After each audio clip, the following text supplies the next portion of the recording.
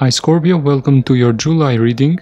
If you are new here and don't want to miss the daily tarot readings, subscribe now by clicking the red button below this video. This is a general love reading so it may or may not resonate with all of you.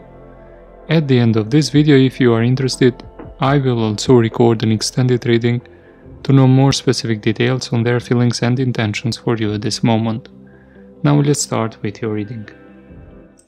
First, let's shuffle the deck four times for you.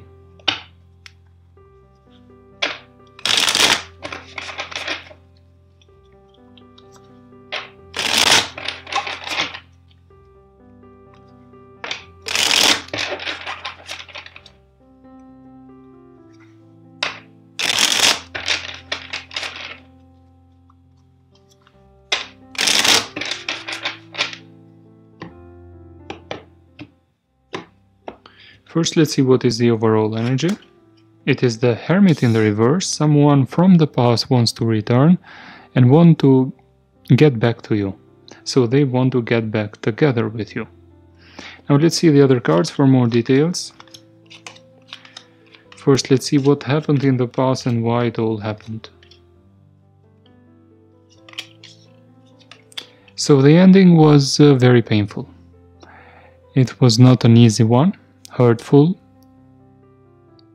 It may have been a betrayal of trust as well, and it left a bitter taste. So there was no much respect, also, it may have been one sided. So, not a harmonious connection at all.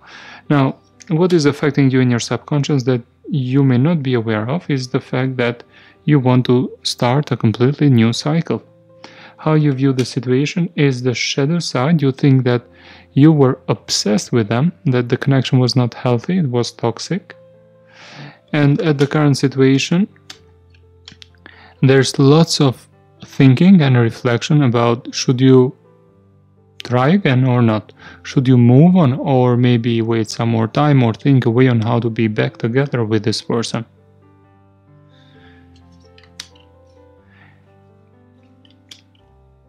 So you hope to have a restart of that connection.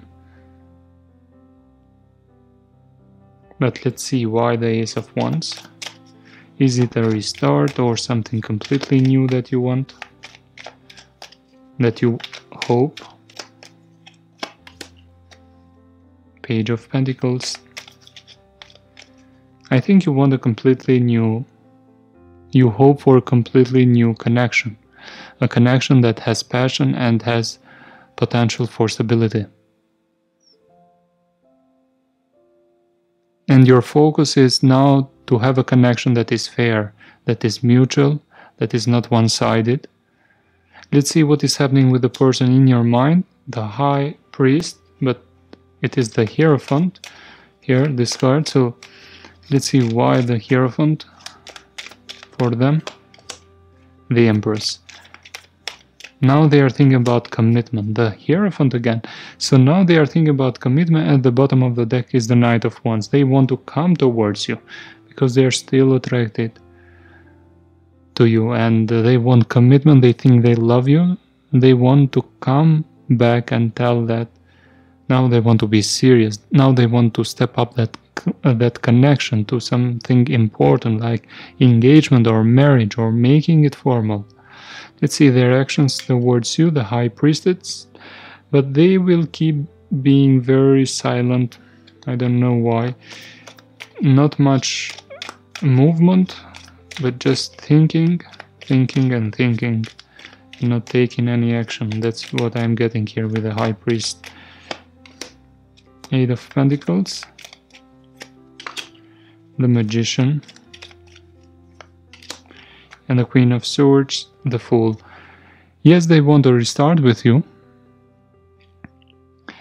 but uh, I see them just being silent, wanting to be back to you, wanting to be back with you, but not taking any actions, but just keeping watching you, focusing on their work, having the desire to manifest that connection, and appearing very distant emotionally.